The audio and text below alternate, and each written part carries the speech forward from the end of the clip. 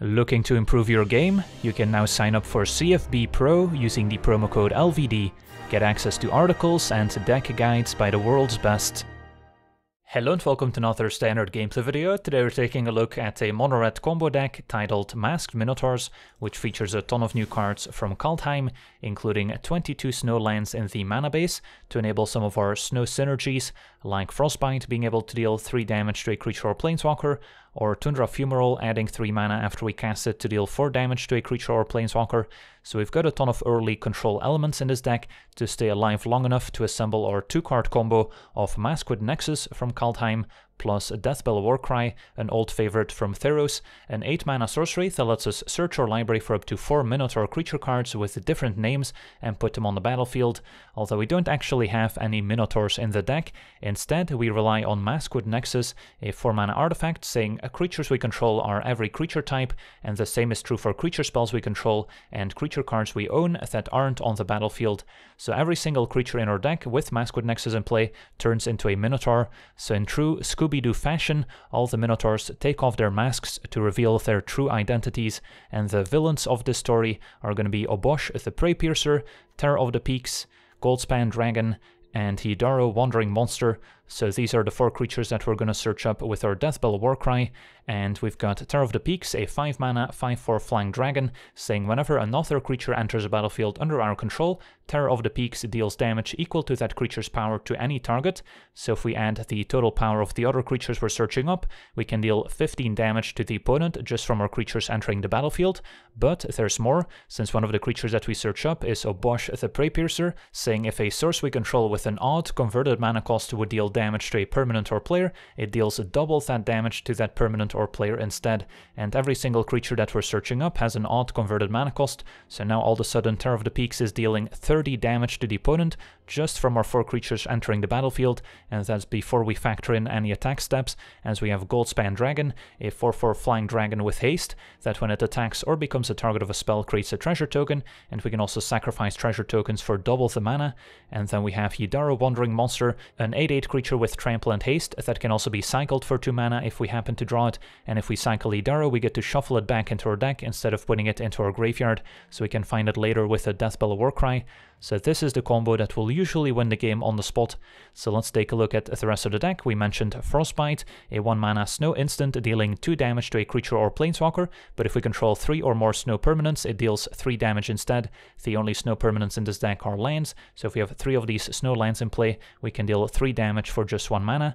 Then we also have the full playset of Fire Prophecy, dealing 3 damage to a creature, and then we can put a card from our hand on the bottom of our library, and if we do, we also get to draw a card. So this is perfect for putting one of our win conditions back into our library, since we don't really want to draw these, but still put them back into our deck where we can find them instead of actually discarding them, and this can also help smooth out our draws. Then we've got the full playset of Mazemind Tome, which is also amazing in this deck, helping us scry to assemble the different combo pieces, or draw extra cards if we've got the mana for it, and eventually gains 4 life life as well. Then two copies of Shatterskull Smashing as a nice dual-faced land that can also be used as a removal spell. And then at 3 mana, full playset of Valakut Awakening, another dual-face card that can be played as a tap land, but more often than not we'll be casting Valakut Awakening for 3 mana, an instant that puts any number of cards from our hand on the bottom of our library, and then we get to draw that many cards plus 1, so we can safely put any of these creatures on the bottom of our library since we're not actually discarding them, so we can still find them with Deathbellow Warcry, and if we happen to draw redundant combo pieces of Maskwood Nexus, Irencrag Feat or Warcry, we can also get rid of them to find the missing combo pieces pieces, so very important card in the deck. And then we also have the full playset of Tundra Fumarole, a 3 mana snow sorcery at rare, dealing 4 damage to target creature or planeswalker, and then we get to add colorless to our mana pool for each snow mana spent to cast it, and we don't lose that mana until end of turn. So if we spent 3 snow mana to cast Fumarole, we get all 3 mana back, and we've got a few ways of using that extra colorless mana. Of course, we can just cast another spell that requires generic mana, but we can also use it to activate abilities, like drawing a card with our Mazemind Tome, Or potentially activating our Maskwood Nexus to make a 2-2 Changeling token, which can also be an alternate win condition if we don't manage to assemble the combo. We can just start making 2-2 tokens with our Nexus, maybe activate our Faceless Haven, which can also turn into a 4-3 creature with all creature types and Vigilance, so that can also help us pressure control decks, or potentially mill decks that happen to mill some of our win conditions, making it more difficult to combo off. And then our final combo piece is Irencrag Feat to help us turbo out our Deathbellow Warcry. If we happen to draw multiple copies Piece of feet. we can also potentially use it to cast our with Nexus and activate it to make a 2-2 token right away, or potentially use our Mazemind Tome as another nice mana sink, so that can come up. And then we've got our Win Conditions, which every now and then we might also just cast if we don't manage to assemble the combo, and especially Obosh is quite synergistic, making our Frostbite and Fumarole deal additional damage, and Terror of the Peaks and Goldspan Dragon can also just be nice win conditions that can fly over. Goldspan can also make additional mana to help us cast Deathbellow Warcry if we don't find Irencrag feat, so there's a few combinations that are still quite powerful. And then of course our mana base with 18 snow-covered mountains and 4 copies of Faceless Haven, which can also be a nice win condition. So that's our deck, now let's jump in some games and see how the deck does. Alright, we're on the play with a keepable hand, we're just one combo piece away here, missing Deathbellow Warcry. Also need a bit more red mana for Irencrag feats, and even the Fumarole, which I currently cannot cast. But most of the lands in the deck produce red,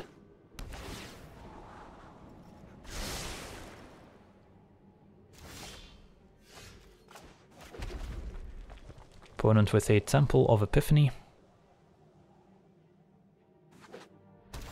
And a World Tree, so opponent's going deep. Can definitely cast Awakening, getting rid of Nexus. Could be a matchup where Fumarole's not particularly useful, in which case we can get rid of it too. Aha, so this is a Tibalt's Trickery deck. Let's see what they hit.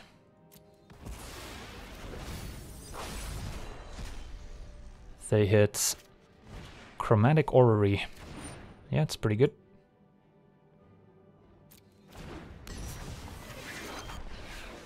Although at least it doesn't kill us right away.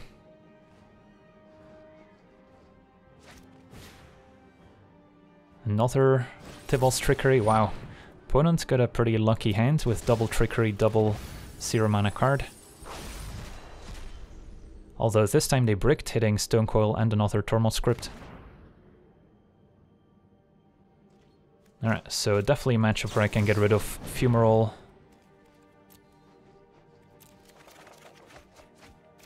Maybe should have gotten rid of Haven since we still needed extra red mana. But yeah, we drew into the combo, so... Turn 4 Nexus, turn 5 Feat plus Warcry. Let's see what they can do to disrupt it. Cast a Genesis Ultimatum, sure.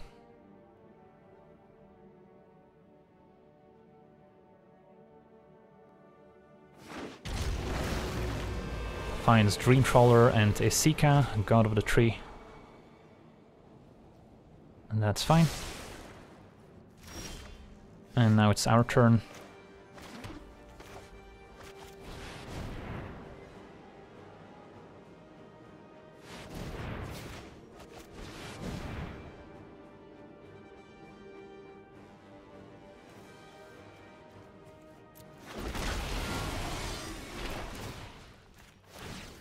Yeah, our opponent should have killed us. But they left the window open for Deathbellow Warcry. Sweet. On to the next one. Alright, we're on the play with a fine hand. Got Mazemind Tome as a nice way to find our missing pieces. Prophecy can get rid of Dragon potentially. And Fumarole plus Tome is also a combo.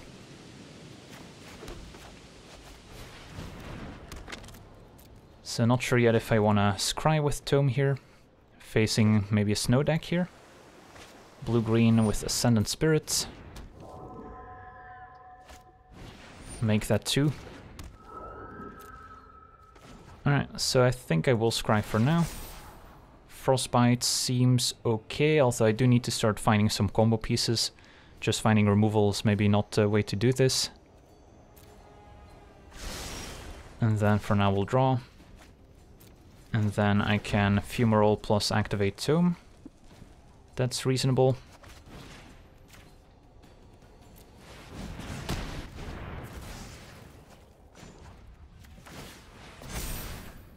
Alright, so we've got Feat, still missing Mask, and our Deathbellow Warcry. Although maybe this is a game where we just start beating down with our Goldspan Dragon. Probably start by drawing with Tome and then casting our Prophecy. Alright, so I can probably get rid of one land. Kill God of Winter. Alright, there's Yidaro. Could also just cast Yidaro next turn. Not sure what the snow deck can do about it.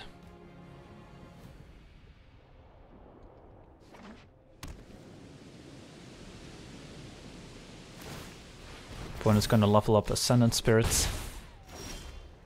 Alright, there's Mask, so I guess I would only be missing Deathbellow Warcry, although I have two creatures in hand already. So maybe this is just Goldspan Dragon, make a treasure, draw with Tome.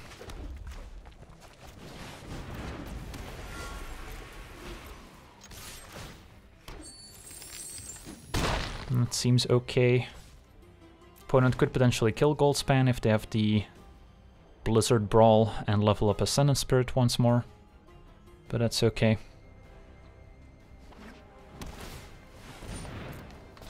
So go to 4-4 Spirits. And an Avalanche Caller instead. Can turn lands into 4-4 creatures. Opponent stays back. I guess we'll just take our draw step. Another Tome is nice. So probably draw.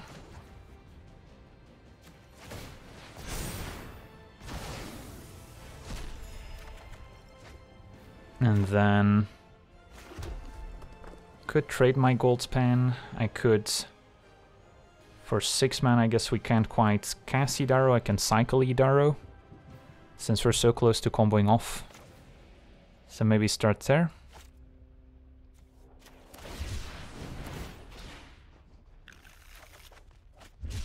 And then I can play another Tome. And could trade to get another treasure.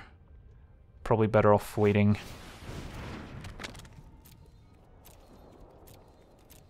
And then for now it can hold off the 1-3 at least. If they try and kill Dragon, we can still make use of our extra mana to activate Tome. Might want to start holding some lands to get rid of if we draw Valakut Awakening. Alright, Blessing of Frost distributes 4 counters and draws 2 cards here.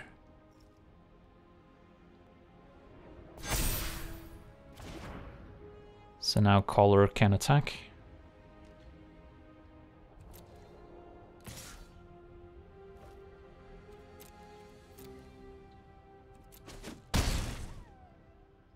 Alright, now we will use Tome to draw.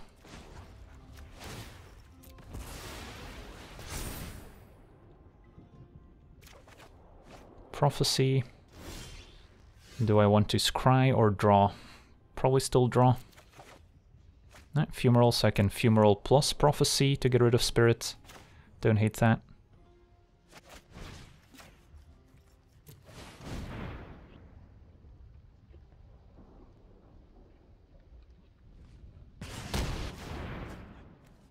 Then we'll draw firsts. Alright, there we go. So we should be able to combo next turn. And then for now, I guess we can Prophecy, get rid of a land.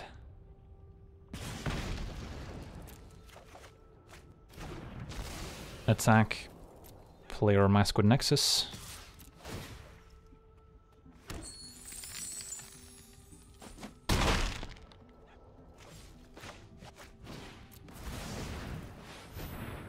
And next turn we should have it.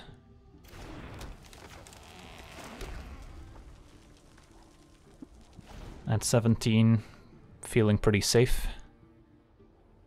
So worst case scenario, we draw into one of our remaining creatures, so on upkeep I can scry with Tome, and then if one of those creatures is on top we can bottom it, and if not we'll keep the card.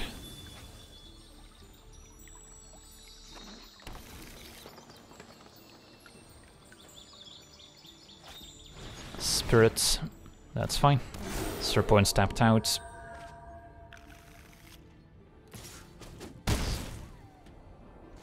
Upkeep, Scry. And Maskwood Nexus is fine to keep on top. Alright. Could just hardcast or Warcry, but this is cooler.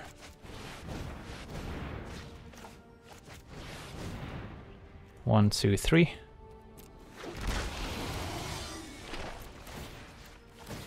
And that's game. 16 damage from Yidaro, thanks to Obosh doubling the damage. On to the next one.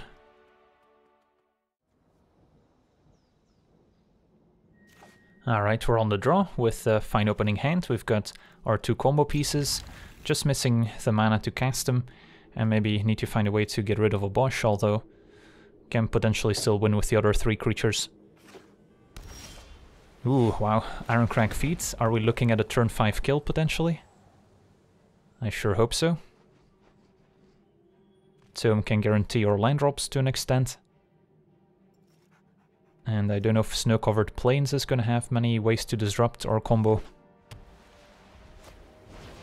Youthful Valkyries is some sort of angel deck. This is part of the theme boosters, so not a card you're going to encounter in Limited. I guess my opponent could have the God that makes our Snowlands come into play tapped. That would be unfortunate. Blue-white. Alright, it's just a Righteous Valkyrie. They could definitely kill us before we get to turn 5 if they've got a good start, but turn 5 is probably the best we can do. So is this turn, I guess I can just play Tapped Awakening, or I can cast it to get rid of Obosh. Let's take our draw step. Another feat. So yeah, I think we'll just cast Awakening, getting rid of Feat and Obosh. And that should hopefully draw us into some untapped land. You can still scry with Tome. Maybe the opponent respects a sweeper and doesn't overextend, which buys us more time. Cloudkin, so appears to be blue-white flyers. Alright, we'll take four. And then we'll scry before casting. Awakening. Mountain's fine. So these two can go. And then I think I'll scry again, since I don't want to draw into one of the remaining creatures if I can avoid it. Um, yeah, I guess Dome is fine. We've got all the pieces we need here for the turn 5 kill, so we just want to keep any non-creatures on top. Alright, let's see if we can pull off the turn 5. I hope we don't die this turn. But even if they manage to get above 27, we would be only taking 12. Maybe 13. Resplendent Marshal. But no creatures in the graveyard. Opponents at 23. They're scheduled to kill us next turn. So let's gain a little bit of life. and keep Maskwood Nexus on top. Alright, hopefully no counterspell.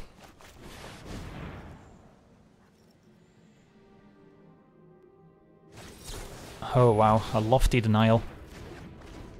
Well, that's disappointing. And now we're probably dead.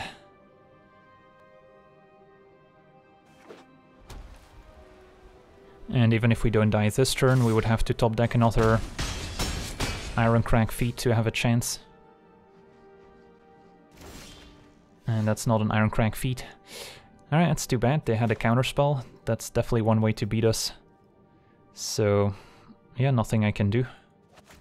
Let's see if we were close to drawing another Irencrag Feat, Frostbite's not gonna do it.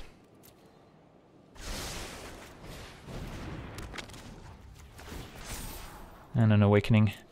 Alright, GG's.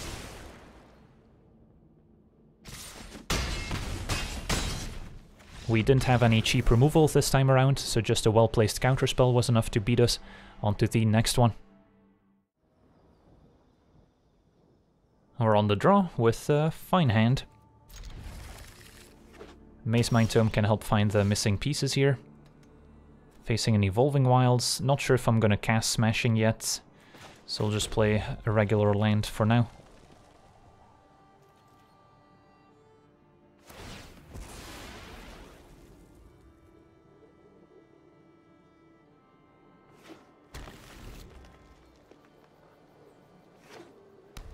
Green whites and the Lotus Cobra, which is gonna die to this Fire Prophecy.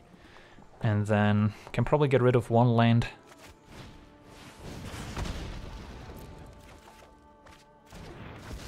Next turn I can maybe play Mazemind Tome.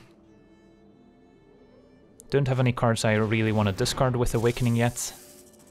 Don't have any redundant combo pieces or creatures. Although I guess I can use Awakening to get rid of Awakening. I think we would rather uh, play Tome here.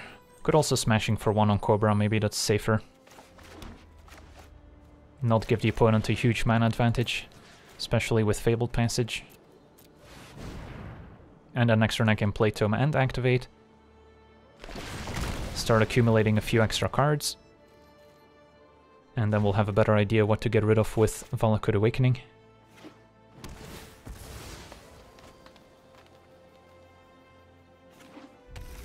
So opponent on Naya and a migration path. So this could be a ramp deck looking to ramp into Phylath, maybe Ugin the Spirit Dragon. At least Ugin can get rid of my Maskwood Nexus. So I mean, I guess we couldn't quite combo next turn since we're missing an untapped fifth land if we were to draw Deathbellow Warcry. So for now probably play Tome and draw instead of playing Maskwood. Seems okay. Maybe Scry on upkeep. Alright, it's gonna be a Valakut exploration instead. And nothing else.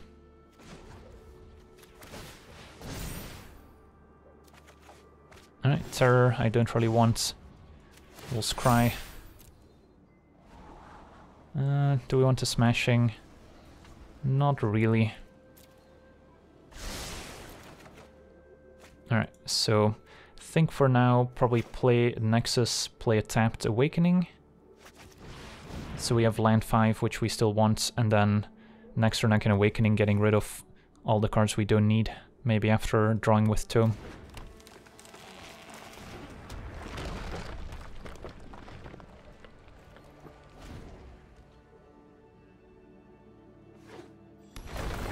Fable Passage for two exploration triggers.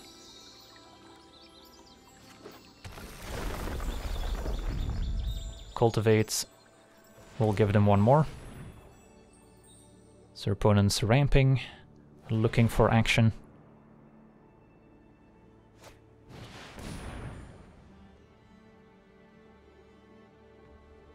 They have a lot of basic lands, so I do think Phylath is likely to be in their deck. Scorching Dragonfire we don't care about. And another Migration Path cast. So we'll be taking 4 damage here end of turn from Exploration.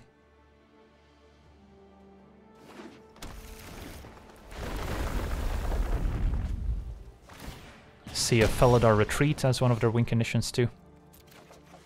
Alright, well, I guess uh, we've got the combo here. Although Terror of the Peaks is in hand, which means that I'll only have Yidaro, Goldspan, or Bosch, but that's still more than enough for lethal. So yeah, let's go for it.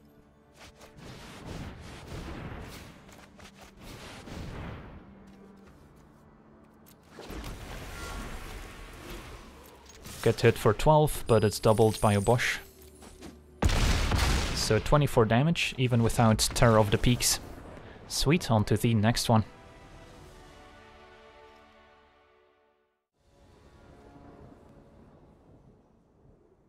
Alright, we're on the draw with a fine opening hand. Plenty of early interaction.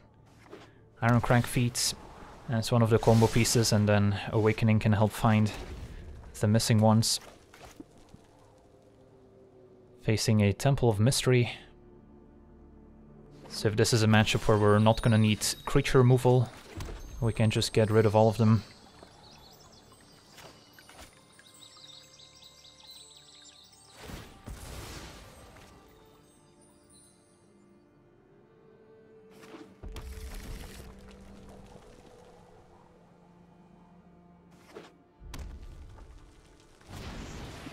Beanstalk for ramp.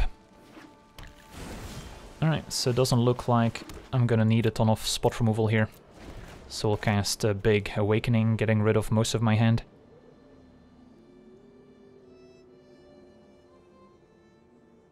But we can wait and see what else they do. If they play a Terror of the Peaks, then probably want to hang on to Fumarole.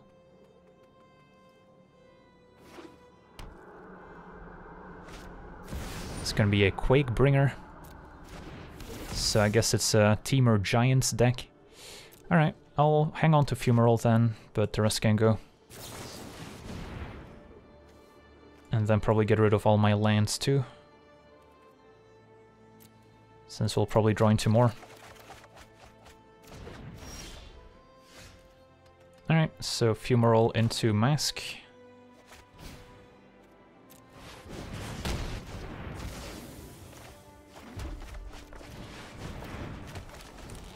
We've got a redundant Irencrag feat, so can maybe get rid of it with Prophecy. And then, yeah, we're just waiting to draw Deathbellow Warcry for the win. Can deal 6 damage to a creature with Frostbite and Prophecy. So Tectonic Giant seems like a fine target. Or we can Mazemind Tome and start drawing. Now let's Prophecy Frostbite first.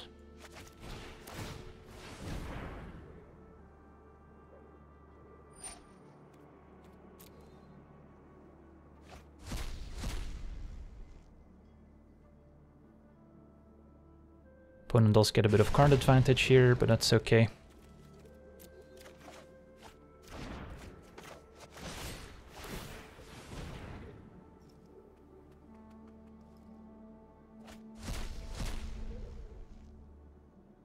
Finds a land. Alright. We'll be scrying towards Deathbellow Warcry. Life total still at 20. So don't hate my position. Just gotta avoid drawing into our creatures.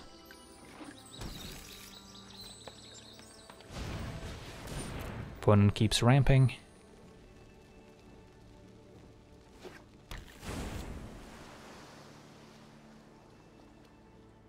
Now my opponent could have some instant speed removal. We saw Squash. Can potentially take out one of my creatures in response to all the various triggers, but that shouldn't matter too much. And an invasion of the giants on the third chapter can give their giants a nice discount. Alright, so let's see if we can find Warcry. I should probably just take my draw step and draw with Tome. Alright, found a Terror of the Peaks. So, is that one we potentially want to shuffle back? And then for now, Probably just make a token with Nexus.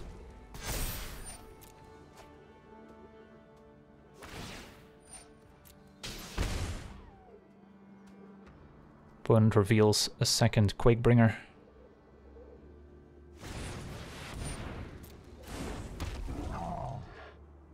At least our Nexus tokens are every creature type, so that means that if they have the 5 mana Battle of Frost they won't be able to wipe away my tokens. Another feat. I mean, I could play the Terror of the Peaks, it's just very likely to die, so it doesn't feel very productive. Alright, Awakening is perfect, so might as well do that now.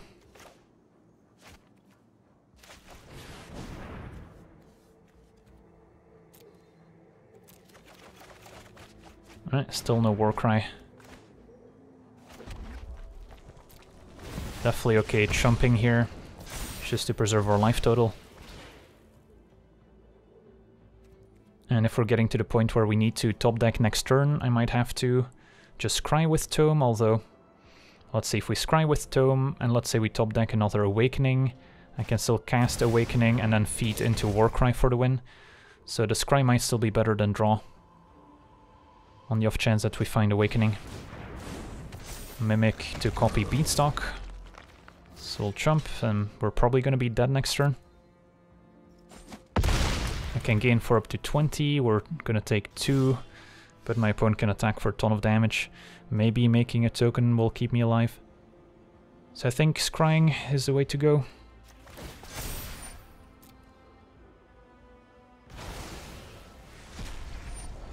I guess we don't even gain a life because of Quakebringer. It's a detail I forgot. So let's draw. Alright, there's Awakening. So, Awakening, get rid of... I could get rid of both lands, but I still need an untapped land to be able to feed into Warcry. So I should probably hang on to one mountain here.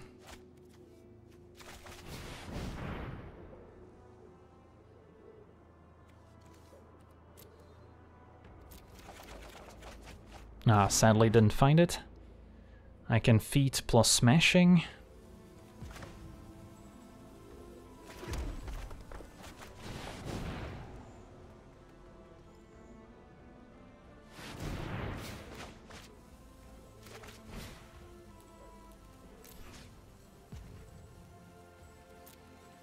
Alright. Take out Beanstalk and Quakebringer.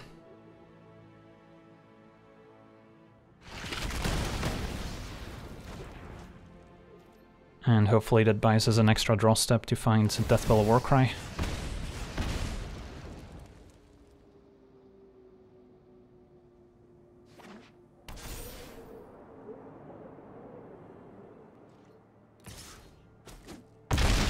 We're at four. Nah, I didn't get there. Although Prophecy gives us a redraw, so we get to sweat once again.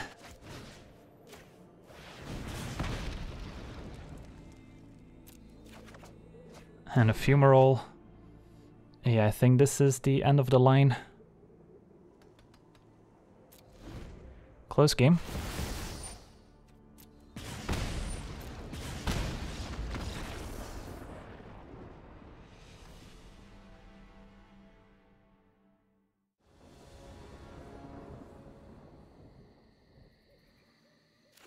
Alright, we're on the draw with a fine hand. Missing Maskwood Nexus and maybe Irencrag Feat for additional mana, but a lot of early removal and card selection. Facing a Ketria Triome, maybe a ramp deck. In which case, probably not gonna need too many of these burn spells.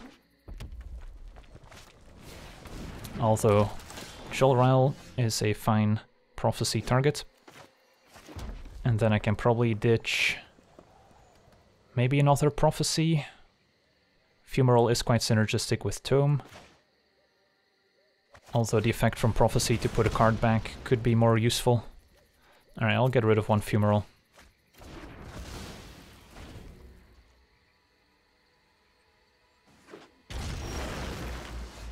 Play Tome.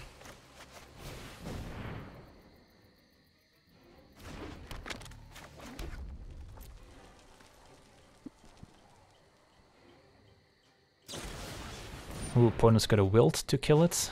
Well, that could have also killed my Maskwood Nexus, so I guess that worked out. Keep a second tome on top.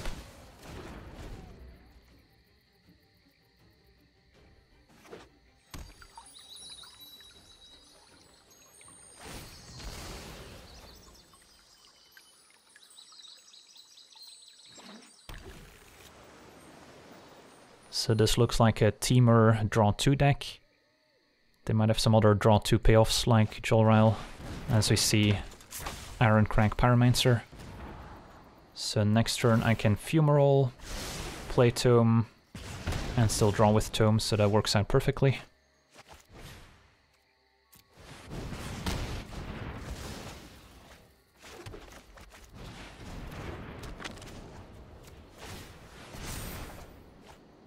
Alright, I've got the next creatures covered.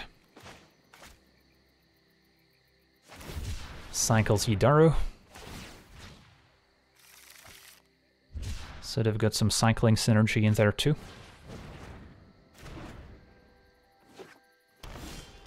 And then I'll just take my draw step, since we're gonna draw with Tome.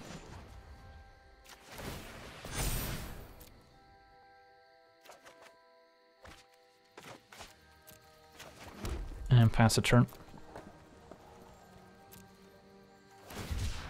Cycles a barrier breach. Okay.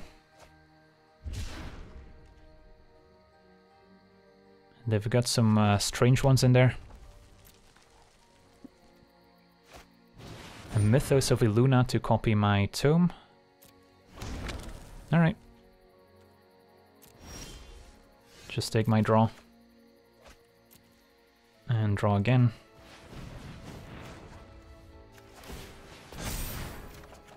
Alright, Awakening is nice. So we can ditch some of these cards we don't need. Can probably cast it end of turn. Could also hit with Faceless Haven, just doesn't seem too productive at the moment.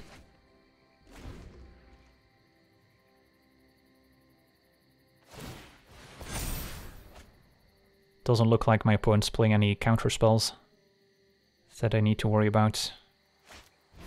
Another Mythos, sure.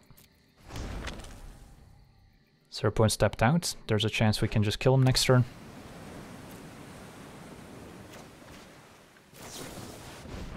And get rid of everything except Warcry.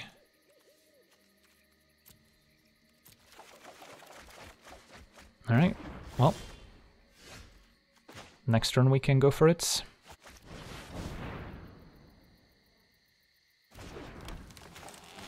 And I've got backup copies of Maskwood Nexus in case they deal with the first one. And then can maybe scry an upkeep to guarantee not drawing into one of our win conditions. Opponent goes digging. Field of Ruin shouldn't matter too much.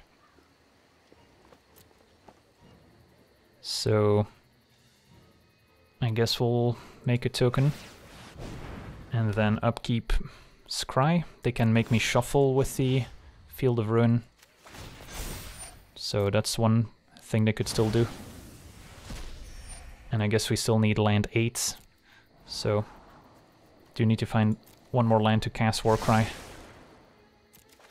Alright, there we go.